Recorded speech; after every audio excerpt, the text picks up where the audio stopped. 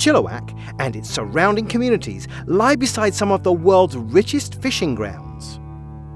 I came to the Fraser River fishing for sturgeon, a gigantic species that has lived here for millions of years. Oh, here we go. Fraser River Lodge, jet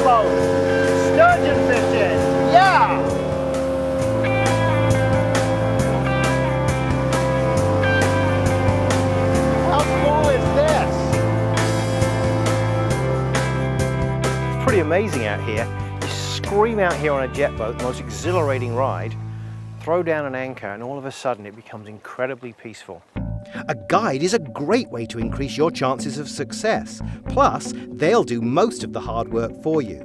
That is, until the fish start biting.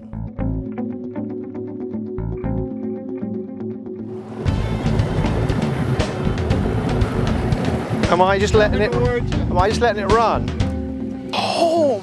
This is some fish. I have to watch my language for this. Holy smokes!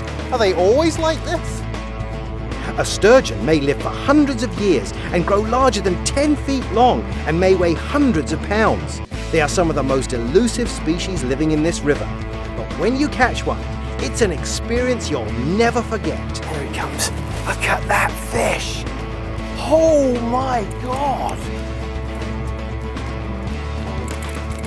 92 inches. Eight feet? An eight-foot sturgeon, and I'm exhausted and exhilarated. What a rush! And now we let him go. And he can live to fight another day. And what a fight he put up. Look at that fish go.